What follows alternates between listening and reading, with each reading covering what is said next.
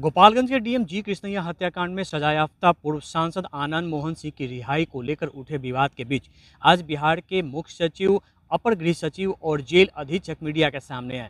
मुख्य सचिव ने साफ़ कहा कि आनंद मोहन सहित जिन 27 बंदियों को रिहा करने का आदेश जारी किया गया है, उसमें पूरी कानूनी प्रक्रिया का पालन किया गया है।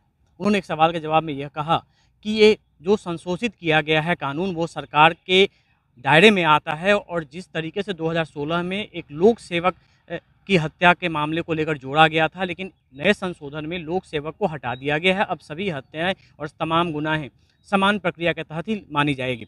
उन्होंने यह कहा कि इस मामले को लेकर मीडिया में जो खबरें आ रही हैं कि प्रक्रिया का पालन नहीं किया, वो निराधार है, क्योंकि इस पूरे प्रकरण में जो तमाम जो प्रक्रिया होती हैं, वो सामान्य प्रक्रिया है और पहले से होती आई हैं और पिछले छः वर्षों में करीब 401 ऐसे बंदियों को रिहा भी किया जा चुका है।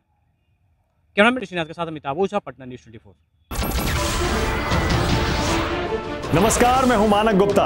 अगर आपको हमारा ये वीडियो पसंद आया हो तो इसे लाइक और शेयर ज़रूर करें।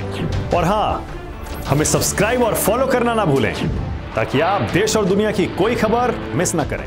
तो जुड़े रहिए हमारे साथ और देखते रहिए न्यूज़ 24